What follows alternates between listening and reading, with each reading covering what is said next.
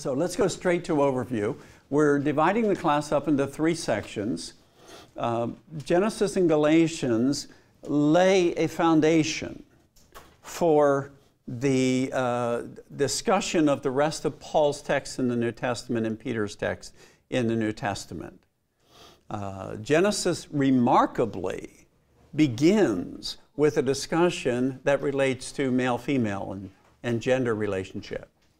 Uh, if I were sort of writing the beginning of human history, I'm not sure I would have gone into that much detail on that issue. Uh, so it comes, it came to me at least as a little bit of a surprise. Uh, but it is referred to many times in the New Testament, New Testament uh, as a point of reference for the arguments that Paul and Peter make. So we want to take a look at that first. Genesis 1 through 5 is the literary unit. And then we'll have a short um, scan of the narrative material. Uh, you don't need to write on that, but I want to give us a little bit of feel about how women work in the Bible uh, throughout the narratives, Old and New Testament. and then come to Galatians. For egalitarians, that's probably their foundational text. Uh, Galatians 3.28, that in Christ there's neither male nor female. Uh, and then trying to parse that out as to exactly what that means. And then in comparison to that, Philemon in the first section of our class. So then you'll be writing just on the two key passages, but we'll be filling in with others. I want to be comprehensive in looking by looking at every passage that might be important in the gender debate. Uh, I don't think we will miss one. So as comprehensive as possible. But Paul does speak in Galatians about Jew and Gentile. Matter of fact, that's his main point of writing the letter. Uh, and he also speaks on the side, along with male and female, about slave and free. So the letter to Philemon about slavery, or about him as a slave, and going back to his master, is an important application of a foundational principle Paul makes in Galatians. So we'll, we'll, try to develop our way of interpreting by those kind of applications. And then family, married or single, uh, how we uh, relate to one another as men and women. Colossians, Peter, Titus are also in this group, but we'll be highlighting 1 Corinthians 7 and Ephesians 5. Uh, Ephesians 5 is usually where we go for this. How many have heard of wedding ceremony uh, where the pastor went to Ephesians 5 for the text? Anybody nod your head? Yeah. Uh, it, it's really quite common.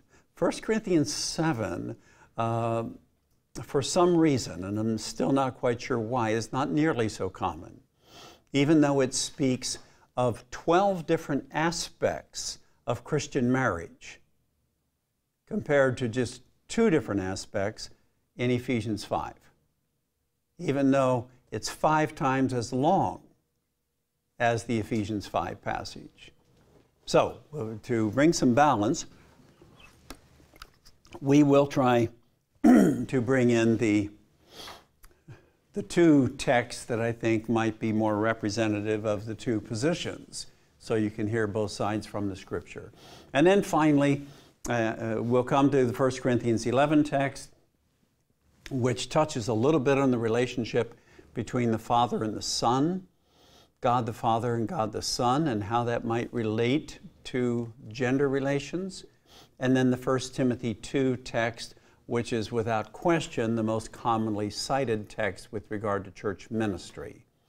Uh, both of them more complex texts. We'll come to those and talk about issues of ministry in that context. Okay, overview. Resources, first of all. Blackboard has a wealth of resources for you. Uh, click through the folders, the egalitarian, the complementarian folders. Uh, there's a folder that has my name on of things that I have uh, written on the subject apart from my work in DBE. Uh, there are folders with just sort of general information under course resources. Take some time and browse through Blackboard. but there are two other websites that have now become the standard bearers for the two sides of the gender debate. Uh, the Council on Biblical Manhood and Womanhood, start on the right side here, uh, and Christians for Biblical Equality, CBE and CBMW. Uh, these were both formed around 1987 uh, in the wake of the Evangelical Theological Society meeting that addressed male and female in biblical perspective was the full title of the meeting in the mid 80s. Uh, a huge national debate, highly spirited, to uh, put it euphemistically. Uh, and it led to the sort of division, the entrenchment, division into two different societies of evangelicals over the gender debate. And these two societies remain uh, the uh, two voices. Uh, on the CBE side, uh, Mimi Haddad is uh, president now. Catherine Clark Kroeger was the founder of it. She has now passed on to be with the Lord. but sadly, uh, Mimi had to leave just yesterday. She was visiting here from Minnesota uh, and was uh, hanging out on campus and would have been happy to come and say hello to class. But she had to leave yesterday to head back home. She and her husband Dale.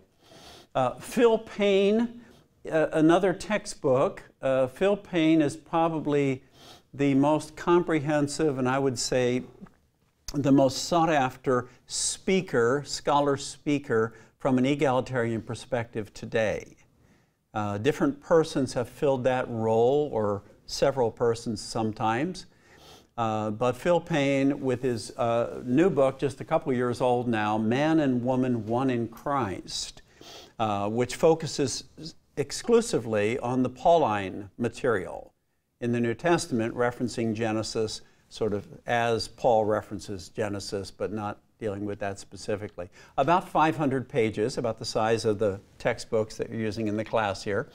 Uh, so it's another comprehensive text, and, and it sets beside very nicely the, uh, again, single authored text by the familiar Wayne Grudem, uh, Evangelical Feminism and Biblical Truth. You kind of get a feel for the tone of that book from the title. Yeah, it, it, it is uh, a response to a position and with the suggestion that biblical truth might not be part of evangelical feminism. Uh, Wayne used to be the uh, president of uh, CBMW.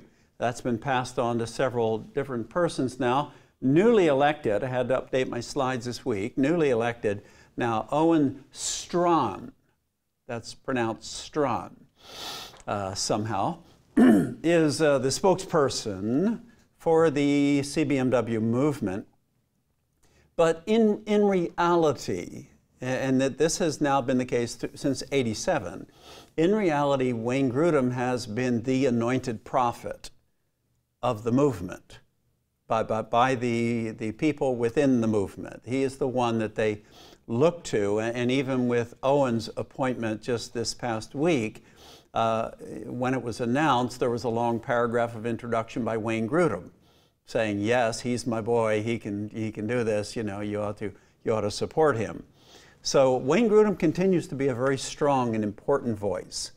Uh, he served as an editor of uh, Recovering Biblical Manhood and Womanhood, wrote a couple things within that, uh, but I don't know of any voice since the inception of the complementarian movement in 1987 that has been as important as uh, the voice of Wayne Grudem.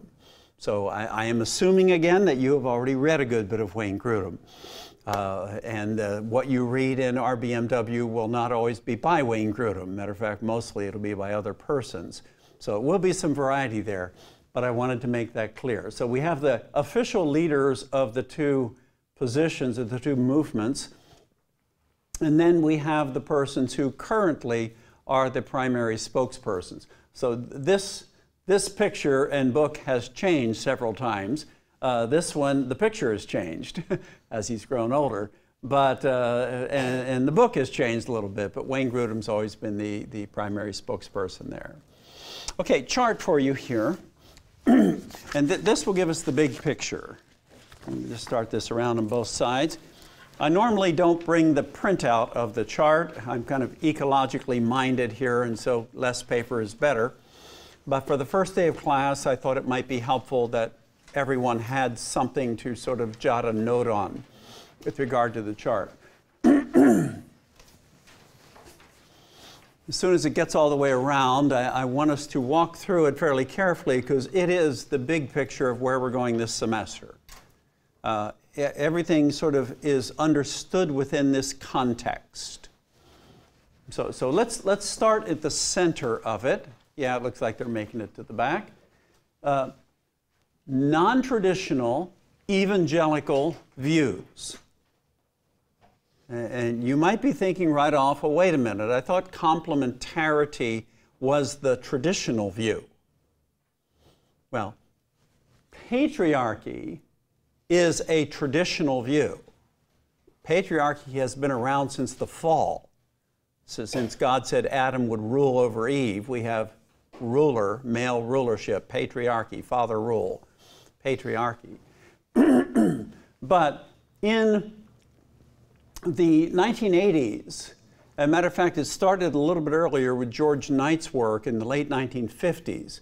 But officially, and this is according to Wayne Grudem, officially the coin, uh, the term was coined complementarity or complementarianism. Complementarian was coined in 1987 when CBMW was founded. And so there is a retention in this position of male leadership, an exclusive male leadership. Men are the senior leaders, women are not. Uh, in, in a marriage, the, the husband is the leader, the wife is not. Uh, an exclusive male leadership, but with an important change from the traditions of human history and church history in particular. Uh, an important change in that they argued that men and women were equal now in status, equal in being. No inferiority, superiority, we are absolutely equal in being. One of my complementarian friends told me that he could just as well use the term egalitarian as I could. Uh, because he believes in equality, in gender equality, because men, men and women are equal in Christ in being, but not in function. Up until the 1980s, the traditional position was that men and women were not equal in either of those things, being or function. Now, the tricky part is that they are not equal in function because women, they, they are not equal in function because of their being, but they are equal in being. Let that sink in for a second. Gets a little tricky. They're equal in being. Men and women are equal in being. But because of who the woman is, because of her being, she's not equal in function. You can see the, the slight tension in thought there. Now, I don't mean to, be, to criticize it by saying that, but just to point out that's the kind of thing that needs to be explained. Because it seems that if the, per, if the uh, foundation of, of not being equal is being, then you're probably not equal in being. We're going to talk about that. But understand that a change was made. Radically unequal, differences exploited, men were superior to women. That is the view of human history, for good or for bad. That, that's where we have come from for millennia. But in the most recent time, in the last 50 years, and technically in the last 30 years, there has arisen a view called complementarianism. Uh, I, am using it more descriptively here as complementary patriarchy. They still believe in male leadership, but it's a complementary leadership where we're equal in being but not equal in status. So, differences of men and women lead to that kind of male leadership. Men make better leaders. God has designed them to be better leaders. Um, headship, biblical metaphor using head, biblical metaphor for headship always means authority in this view. And so, 20th century, most recent, late 20th century, in fact. Now, on the other side of the chart, radical equality, radical feminism. Radical feminism, by the way, really should translate to matriarchy. I mean, if you want to put patriarchy with a complement on the other side, it'd be matriarchy. Uh, so there is a radical feminist group that believes, or position, movement, that believes that women are superior to men. I, I heard a comment recently that uh, studies have been done on corporations where women have been brought into leadership roles in the corporations. And in every case, the corporation's uh, uh, productivity model, the work environment model, improves when you bring women onto the board of the corporation. That has that statement, whether it's true or not, that statement has kind of a tinge of women make things work better. Okay, in a more radical sense, it's men have had their time of authority. Now it's time for women to have authority. We want that. It's very much a personal power and authority and right kind of thing when you move to the more radical extreme. It doesn't deny gender differences, rather, it exploits them. I don't want to be like a man because women are better. So it exploits the sense of gender difference just as radical patriarchy did on the other side. Uh, there is also a movement off to the left uh, non-traditional liberal or and or secular of radical equality where the differences between men and women are minimized almost erased. And so if you don't particularly like the gender you were born with surgery can fix that.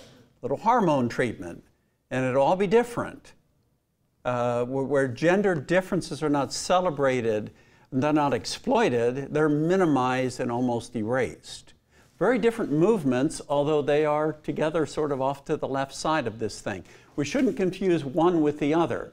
Sometimes we think of radical feminism being sort of a radical equality, and, and the terms get used interchangeably sometimes. But for the sake of our class, I want us to understand the difference.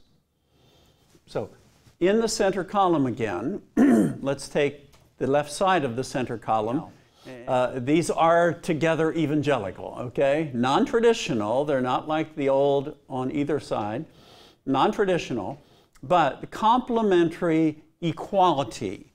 Uh, it was, there was some uh, controversy within our group when we uh, settled on the subtitle for discovering biblical equality. Complementarity without hierarchy. Several persons that we contact, there's a group of three editors, uh, Rebecca Groothuis, it's pronounced Groothuis, by the way, not Groothius, but Groothuis, Rebecca and Gordon Fee, uh, wanted to uh, incorporate as many voices as we could.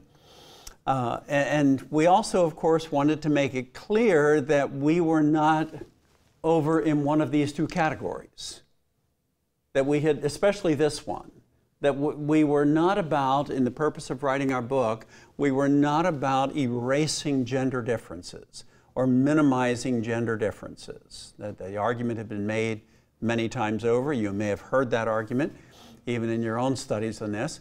So, to clarify that right up front on the cover, we put complementarity without hierarchy.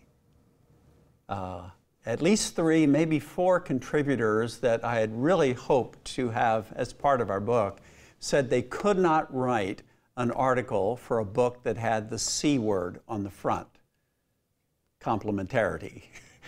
Uh, because the, the, the term had been ruined somehow in their opinion. I strongly believe in God creating male and female for the sake of beneficial differences where, where I tend to walk a slightly different path than my complementarian friends uh, is when we begin to make a list of those differences, which the scripture never does. We make a list of those differences, and then we use those lists to prescribe how each individual ought to be as a male or a female. So here's real womanhood. Here's real manhood. And if you're not living up to that, list, eh, I think it actually gets to be a bit legalistic. Not li living up to the list, then maybe you're not mature in your manhood or womanhood. So I believe in complementarity, but not in a sense of a list that gets used as a prescription to describe how every woman ought to be, or act, or feel. So, complementary equality, equality not in sameness, but equality in the sense of equal opportunities to serve. I, I, hesitate to use equal rights, although that's a very popular term in our culture and our country's history, uh, but equal opportunities to serve one another. I, I don't think the scripture, especially the message of Christ in the New Testament, is about exerting authority over each other. Jesus was against that kind of thing. He spoke very explicitly against that. Uh, but the message of Christ, captured, I think, in, in Philippians 2, is one of emptying ourselves for the service of others, for serving, for loving, for yielding to one another in love. I think that's the emphasis in Ephesians 5. As the husband sacrifices to the wife, the wife submits to the husband. Uh, there is sacrifice and, and sub submission, yielding in love, mutual submission in the previous verse in that paragraph. So, equal to serve is the catchphrase, and it also happens to be the title of a great book back in the 80s by Gretchen Gaebelein Hull. Equal to serve, complementary equality, but equal uh, to serve one another, equal in status or being, and equal in function.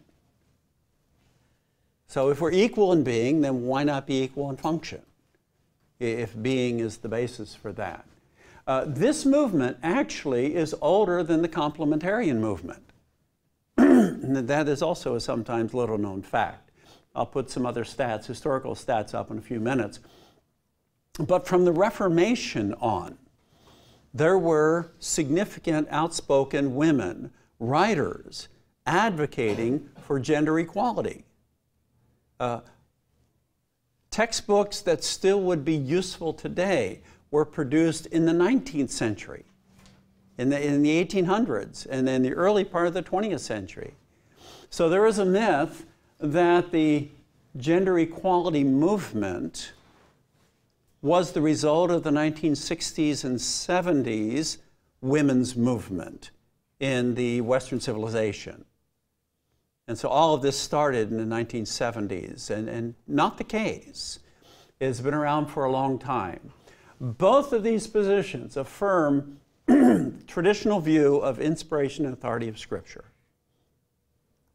Neither of them is simply going to dismiss the passage or passages they don't like.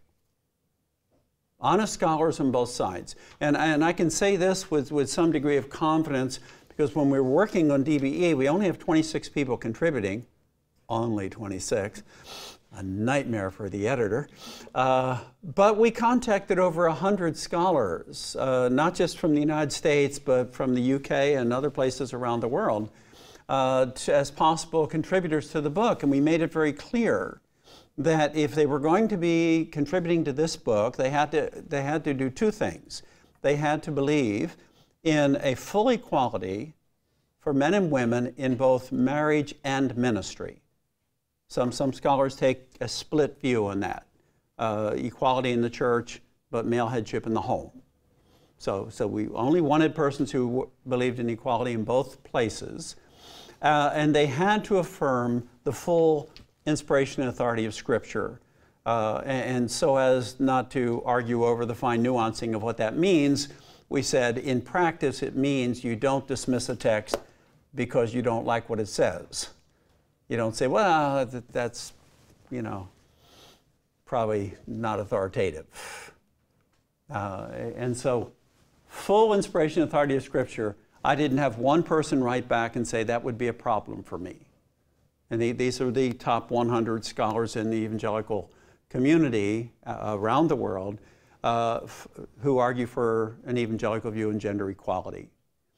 Um, equal status and functions. The differences in, in, a, in a male leadership view or a complementary patriarchy view, uh, the differences lead to an exclusion, to a more exclusive male leadership. But in the equality view, the gender equality complementary, the differences acknowledged lead to a shared partnership. And now I think this is why the companies did better when they brought women onto the board.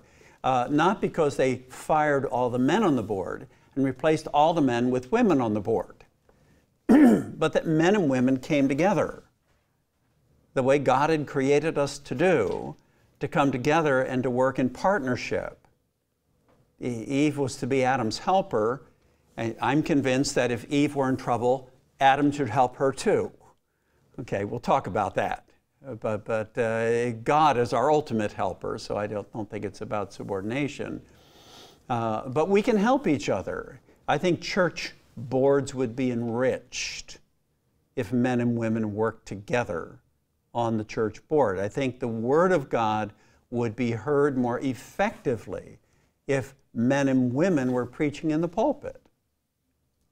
So, not, not because I want a feminist position, but because I'm arguing for an equality position, a shared partnership in marriage and ministry. I think marriages do better when husbands and wives contribute with their unique giftings of leadership skills in different areas rather than, uh, than just one. Let, uh, Beatrice, let me have you hold the question until, until the end there. Thanks. Yeah. okay, so uh, headship ignored or minimized in this context. Headship here redefined in context. Let me, let me clarify what I'm saying there. Not redefined by me, not redefined by the interpreter, but redefined by the biblical writer.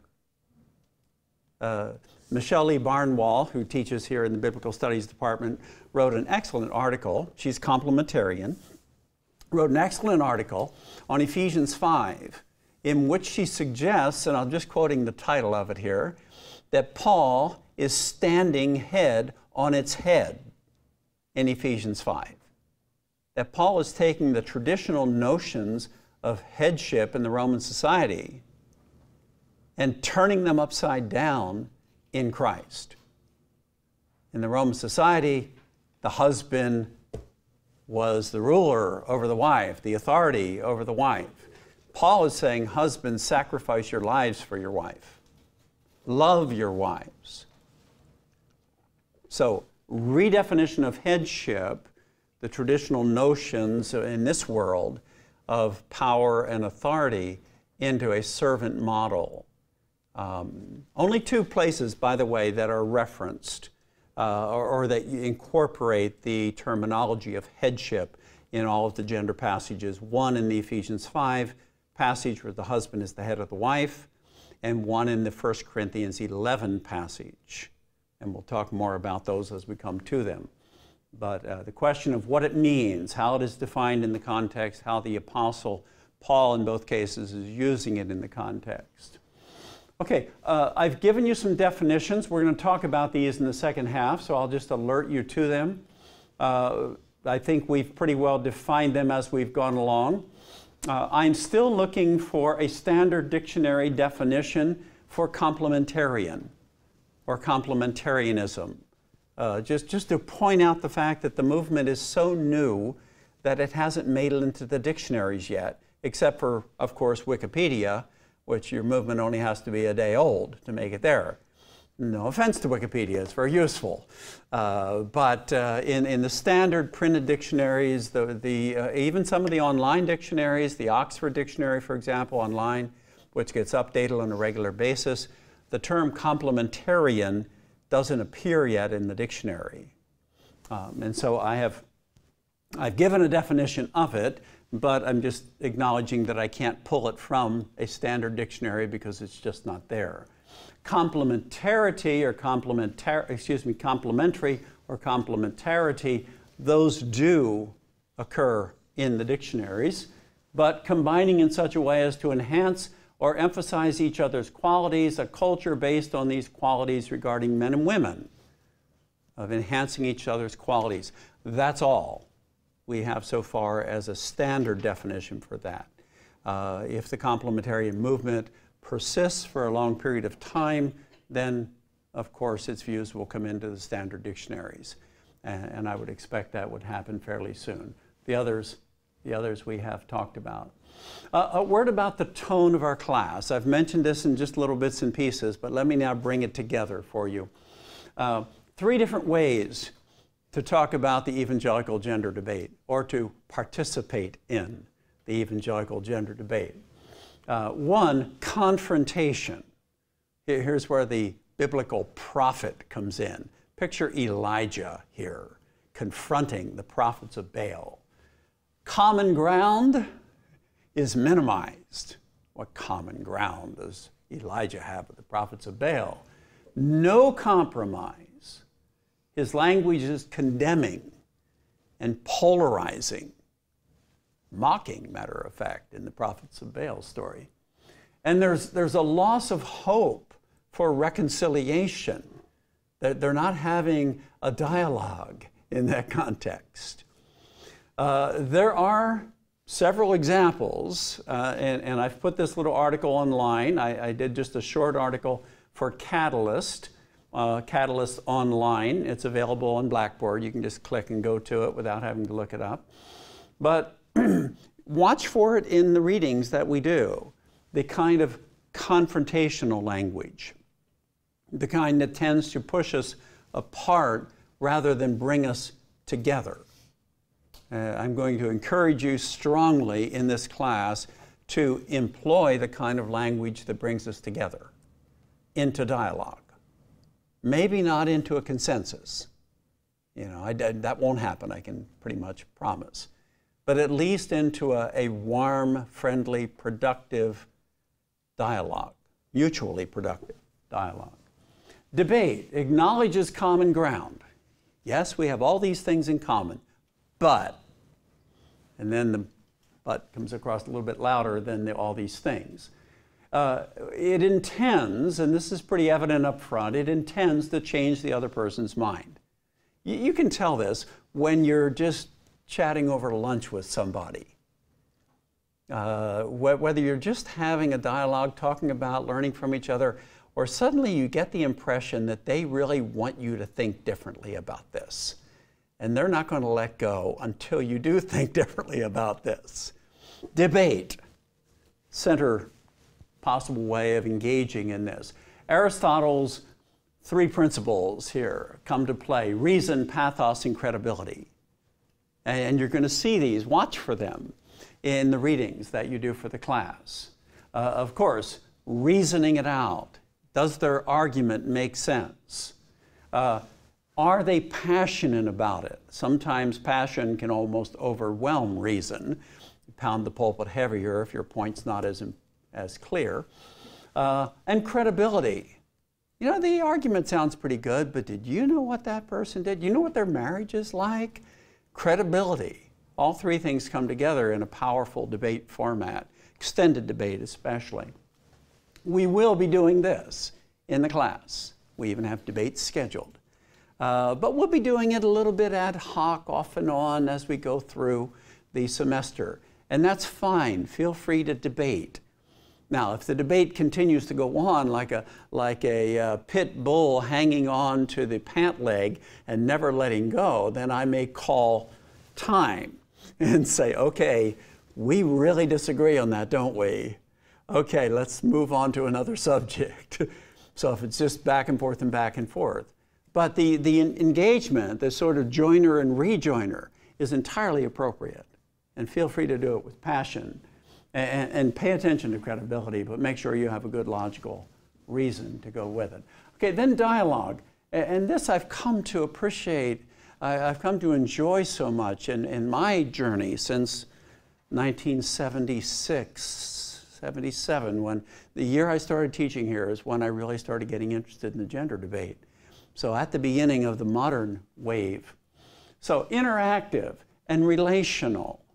I, I have a couple dialogue partners uh, on our faculty here in the Bible department that I really especially enjoy uh, talking with about this.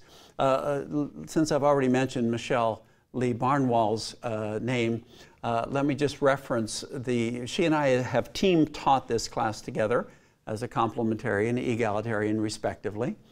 But more importantly, for me at least, we have had wonderful times of just occasional dialogue in the office.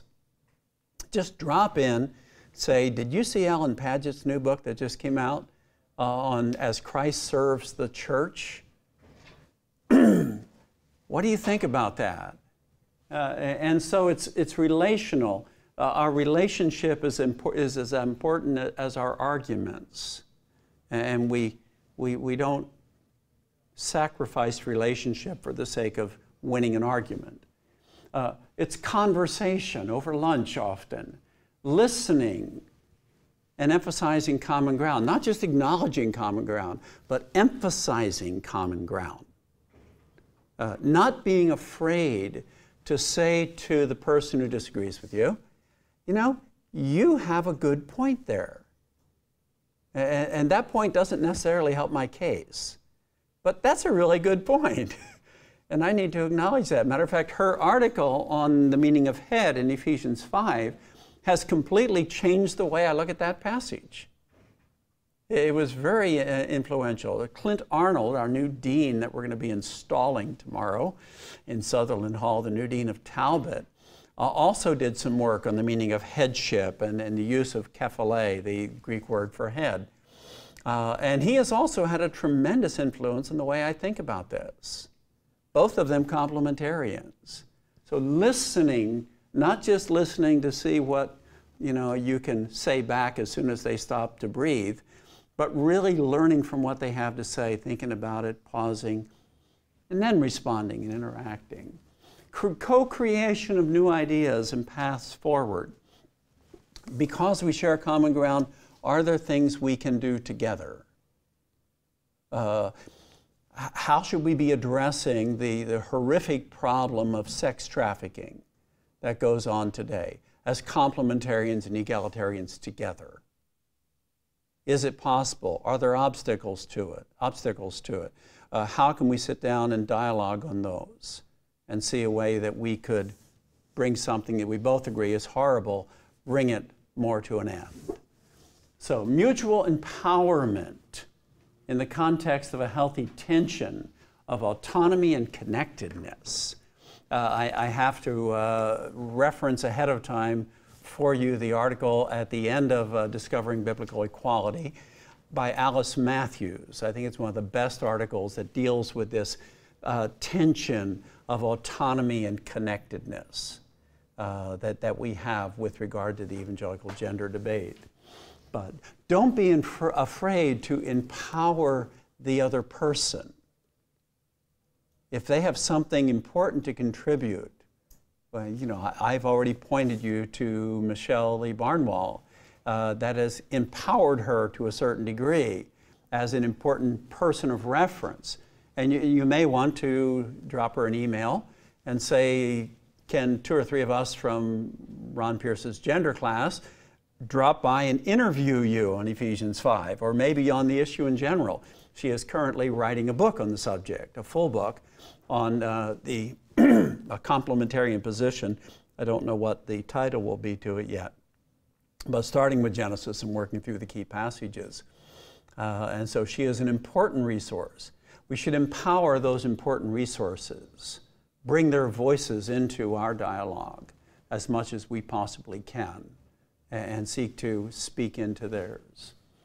So, okay, I think what we're going to do here, it's uh, just about 10 minutes till 3 is I'm, I'm going to, you have this also in the uh, PowerPoint slides that I've uh, put online for you, but I just want to highlight one or two things on here uh, to bring us up to where we are in the current debate, and we'll stop in about, at about 3 o'clock here for our break. Uh, Reformation on, mentioned it before. Couple key names, just put them there so we can see a couple of the women who were significant uh, spokespersons for the movement in those days. Uh, in, in, the first chapter of Discovering Biblical Equality, there is a history of women in the church going all the way back to the apostolic period and up through the present time by two different authors. One, a church historian, Ruth Tucker, uh, and uh, the um, I'm blanking on the second one's name, so I won't try it. Uh, but uh, first, major contributions by full books uh, Mary Wollstonecraft, A Vindication of the Rights of Women. And then, especially down here in eight, 1873, Thomas Webster's. This is available on the Gutenberg website, by the way. You can download the full text of this book for free. Uh, woman, man's equal. If, if, you read that text over 100 years old now, it sounds like it was written in the context of the contemporary gender debate. Uh, uh, and then uh, Lee Anna Starr, maybe one of the most important, uh, this is a, a pastor writing, uh, a, a well learned pastor, but uh, this is a, a, doctor of theology, Lee Anna Starr, in 1926. professor of theology with a PhD was unusual. Uh, the Bible status of women, which he examines each of the passages in, in tedious detail. So, so there has been contributions throughout the years to this. Uh, the, the movement is intertwined with the uh, issues of racial equality. Uh, matter of fact, how many of you saw Lincoln just recently? Uh, there was a line in there that was especially interesting for this class. It was what when the uh, Congress was debating whether or not to grant freedom to the slaves, uh, the question arose what will they want next if we give them that? They want to vote? And then what? Women? Are we going to, uh, is this going to actually extend to women? Okay, 13th and 15th Amendment compared to the 27th Amendment. 19th Amendment, right to vote, 27th Amendment, the Equal Rights Amendment. Uh, and so the racial issue was dealt with earlier uh, than the gender issue in this context. So, uh, vice presidential and presidential candidates, no, not major parties. No, it wasn't Hillary. Uh, but presidential and vice presidential candidates uh, throughout this time, or major organizations, National Organization for Women, Evangelical Women's Caucus, and uh, the Council on Biblical Manhood and Womanhood, and the Christians for Biblical Equality, national organizations, and some landmark meetings. Uh, the 1984 Oak Brook Colloquium was the first gathering of evangelical egalitarian scholars, produced a short book on the subject with about 10 or 15 contributors to it, was sort of the standard collection of articles up until DBE came out in 2005. So, and then the infamous Evangelical Theological Society meeting in Atlanta, Georgia in 1986. I'll never forget that. I was sitting by a student, Clint Arnold, uh, in the auditorium that evening, a Saturday evening for the plenary session, when Gilbert Bilezikian from Wheaton and a young theological student named Wayne Grudem, yeah, he was a professor at that time, just barely started, had a four hour debate on gender equality. It started at 7 on Saturday evening. Now, I know y'all in the dorm, this isn't a problem, but, but at our age, uh, going to 11 o'clock in debate format with about a 10 minute stretch break in the middle of four hours was grueling, and they weren't finished when it was over. The, the modern era, the modern version of the evangelical gender debate had erupted that Saturday evening in Atlanta, Georgia. And it was no surprise the two organizations followed uh, the next day. What about Biola? Um, we'll uh, finish it up with this. Where have we been as, as an organization? Uh, founded, of course, in 1908 as the Bible Institute of Los Angeles. At that time, I have some pictures here for, uh, for reference. No gender based restrictions to teach and learn. Women were not only fully welcome in the classes, but we had women Bible teachers in the early days of the Bible Institute of Los Angeles, sometimes an unknown fact. But if you look in the archives, it's there. So Anna, Anna Dennis, and then of course Anna Horton uh, from uh, T.C. Horton, the, uh, uh, one of the founding deans of the school. Uh, we started out as a fundamentalist school, 1908, came to be an evangelical school when that language was more prominent in 1949. Same year we founded ourselves as a college. Uh, then Talbot uh, Seminary, now Talbot School of Theology. Talbot Seminary begins in 1952, became a university, uh, incorporating all of that in 1981, and then uh, we changed the seminary to a school of theology in 1983. So, brief history of Biola's growth. but in that context, women teach and learn at the beginning without restriction, but somewhere along the way, probably post World War II, the best the historians can analyze this trend, women were less and less permitted to teach in the area of Bible and theology. There, there, there was a backlash, so to speak, a backing off uh, as the men came back from the war. I put two dates on the board 1975, 1977.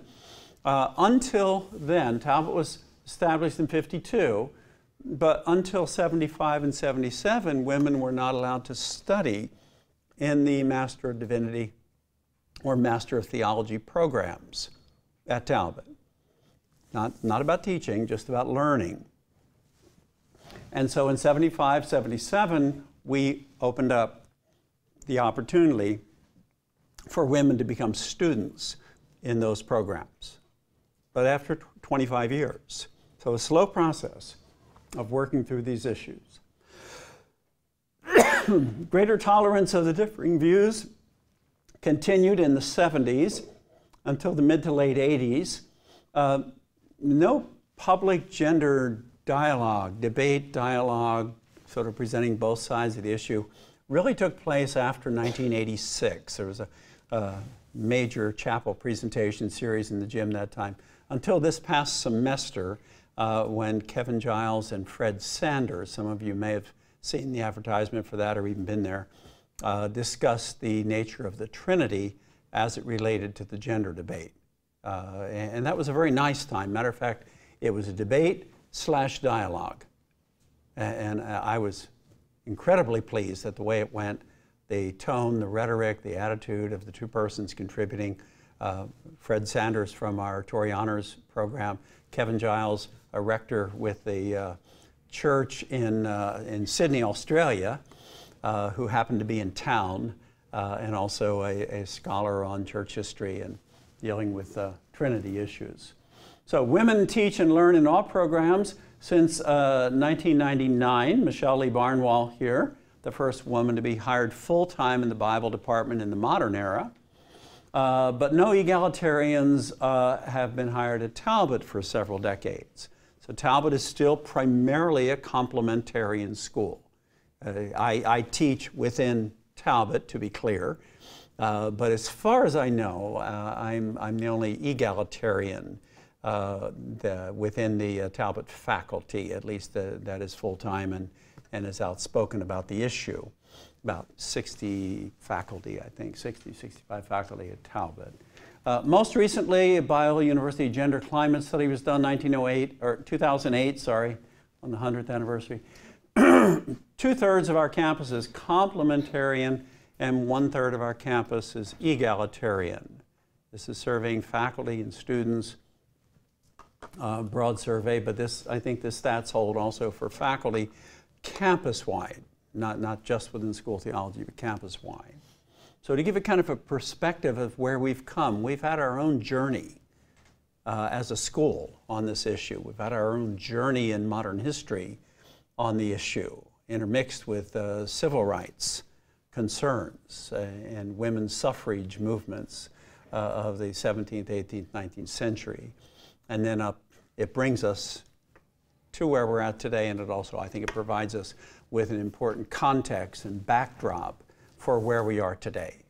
So, so that we don't think this is some new kind of thing that just splashed up a few years ago and will blow, blow over and go away real, real quick. Uh, but this is something that's been going on for, for centuries. Uh, and we are part of the latest discussion, the latest dialogue and debate on that. Biola University offers a variety of biblically centered degree programs, ranging from business to ministry to the arts and sciences. Visit biola.edu to find out how Biola could make a difference in your life.